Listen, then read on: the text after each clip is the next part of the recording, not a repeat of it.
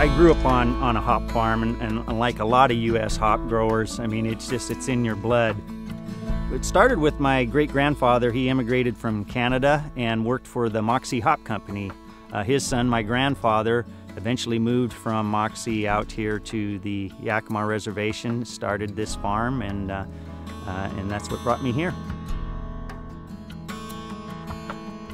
Hops are extremely important to beer. Hops are to beer what grapes are to wine. It's what gives beer its aroma, its taste, its flavor profile. And, and here in, in the Pacific Northwest, we've got the, the soils and the climate that produces that ideal taste in beer. It's been said that the hop plant likes to have its feet wet and its head dry, and that's what you get here in the Pacific Northwest. We're in a desert climate here, so it doesn't rain uh, very often. And yet, particularly in the Yakima Valley, we have storage reservoirs way up in the Cascade Mountains that are filled from snowpack that melts. And this creates a great buffer for us for our irrigation purposes. And so we're able to meter the precise amount of water and fertilizer to the plants. It really has improved the quantity and quality of our crops out here and it's been a big plus for the U.S. hop industry. Year in and year out, we have a very, very stable crop. We don't see the fluctuations near that other areas of the world may see. And so that really makes it a stable uh, supply for brewers all across the world.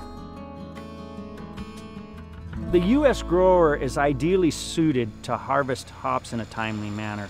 They have the facilities, they have the technology, and they have the ability to optimally pick hops at the perfect timing. And I think that really gives us an edge in the worldwide market. Things like new kilning and cooling rooms, as well as refrigeration of finished product in a timely manner, that's really provided a consistent product for the brewers. The advancement of integrated pest management within our industry has been a huge success. Growers are able to eliminate the need to use plant protection products for various issues that we used to have to over the last 20 to 30 years. There's been huge developments that have come through collaborative research.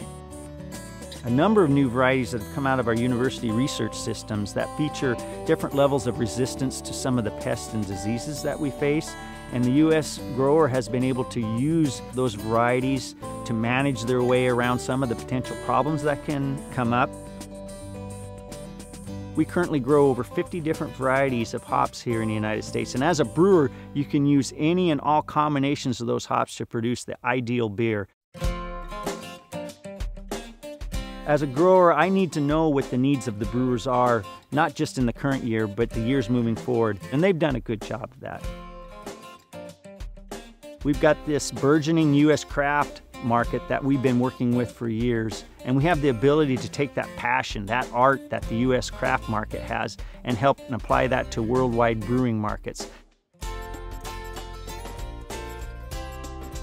The traditional American aroma profile, which produces a great, strong beer, is really coming in demand globally now, too. And we can offer brewers whatever they're interested in, whatever their needs are for hops to produce ideal beer.